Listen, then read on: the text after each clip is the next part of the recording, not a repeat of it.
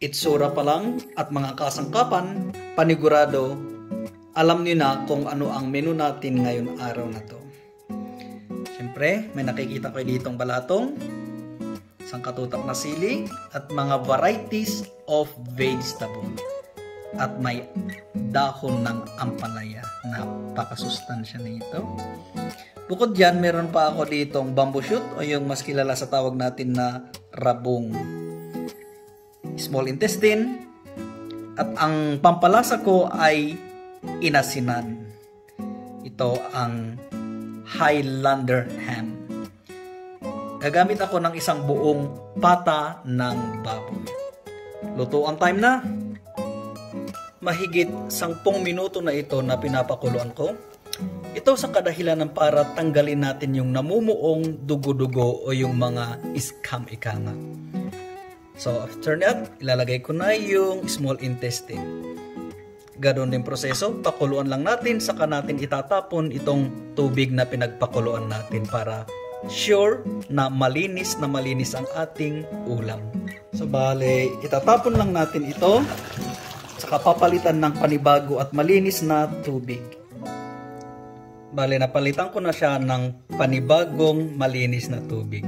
Kaming mga Highlanders, hindi kami marunong o hindi uso sa amin yung gisa-gisa ng bawang, sibuyas.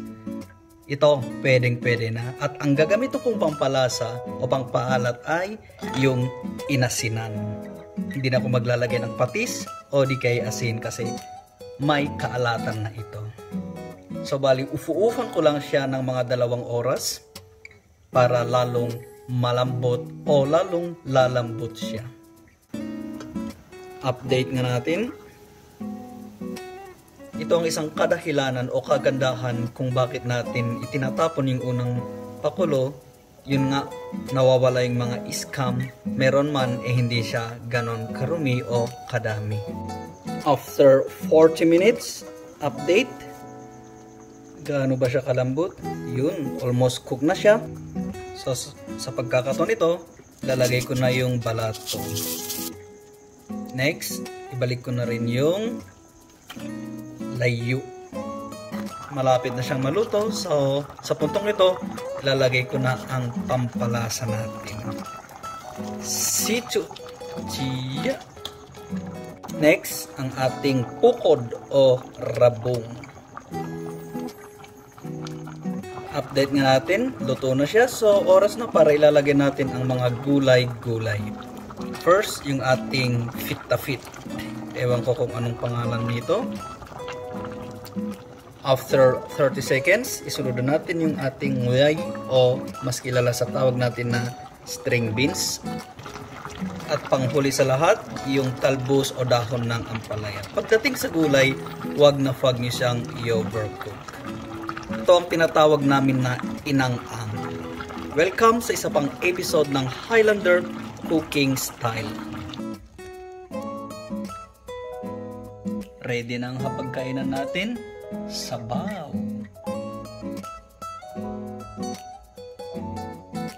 Siyempre ang Highlander Wasabi.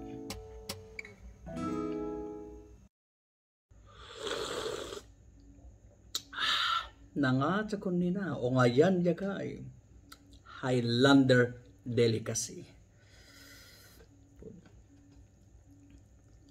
Legit.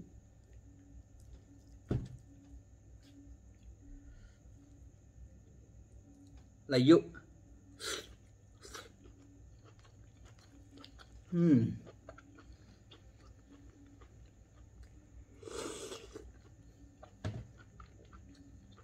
Hmm.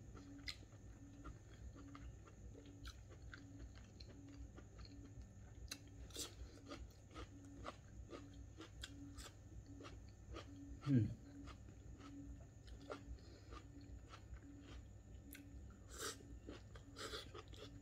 Oh. Yung umpalaya, napakasarap.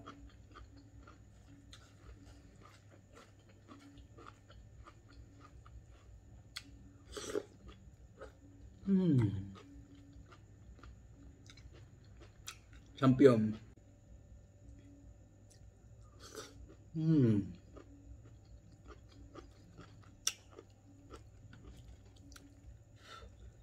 Spoon.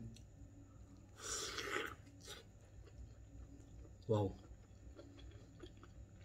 Yung inisinan, sobra.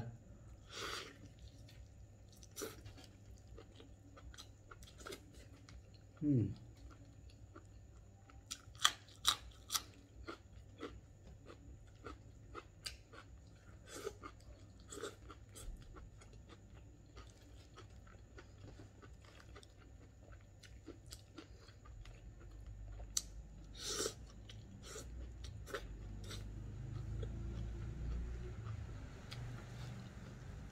ừ.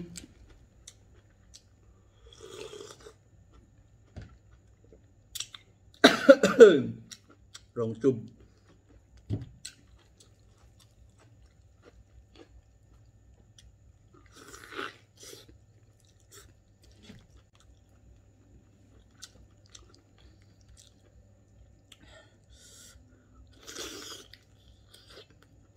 Wow. Mm.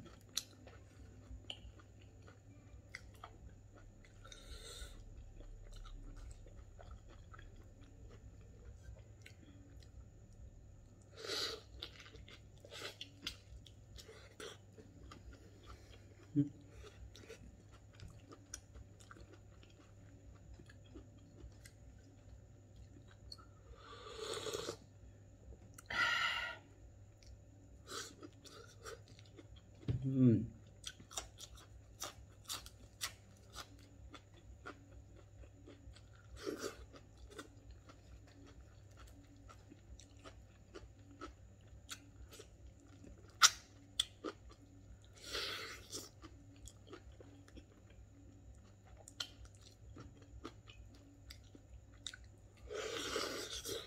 嗯。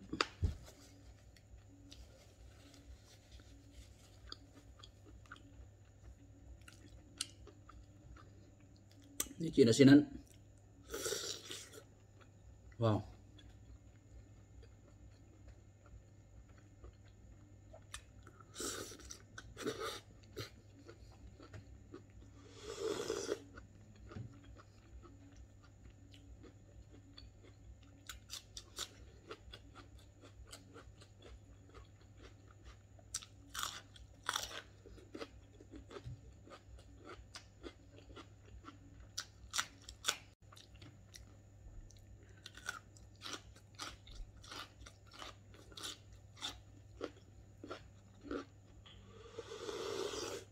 Hmm.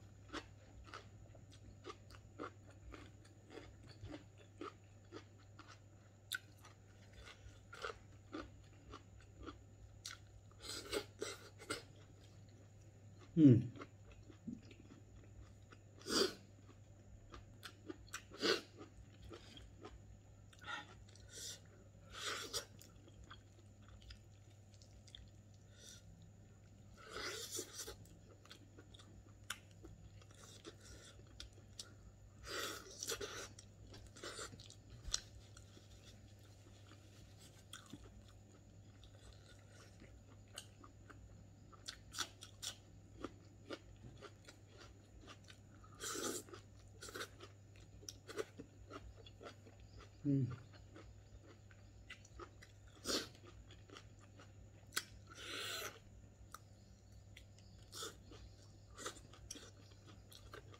Wow.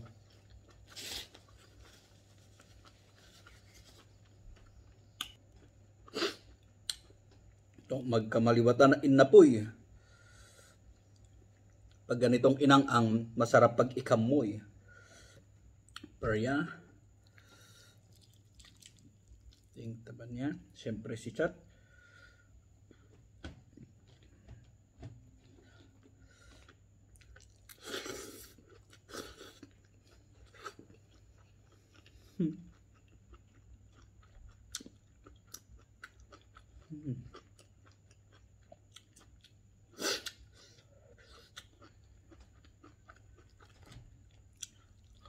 Mm-hmm.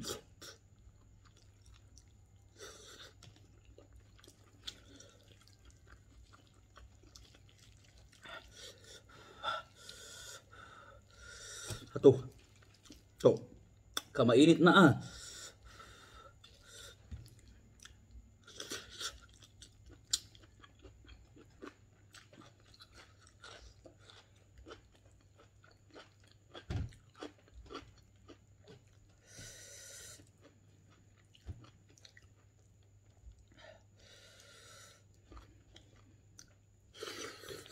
Hmm.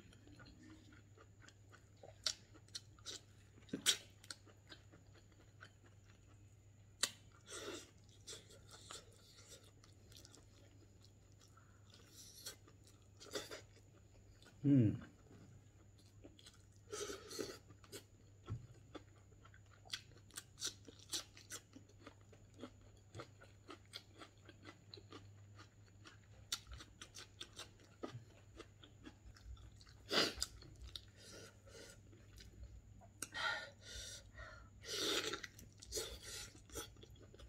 Wow.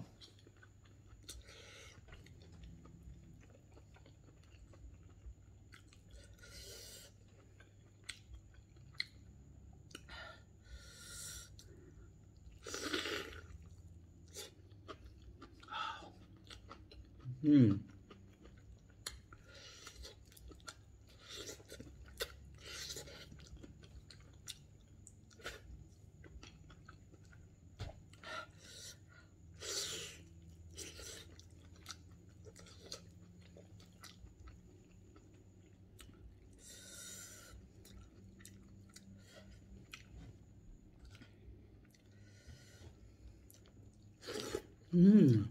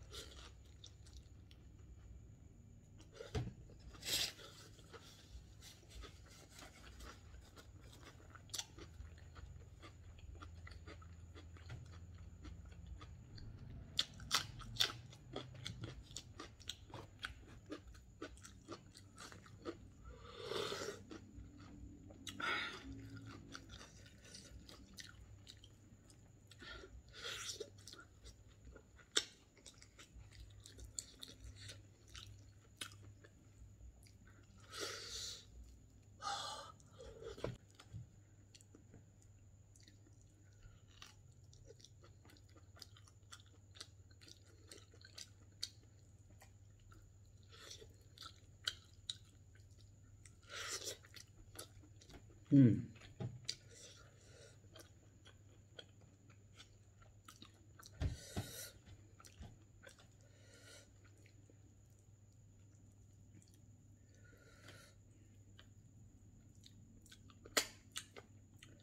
Si Chuck.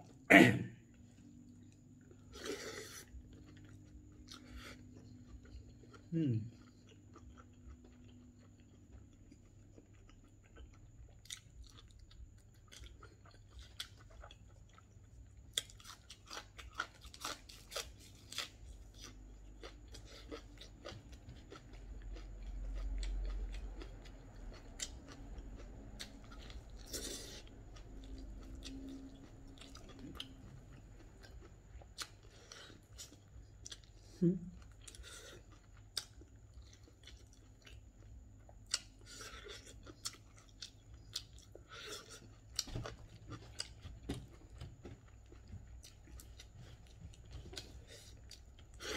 Hmm. Nga Paul.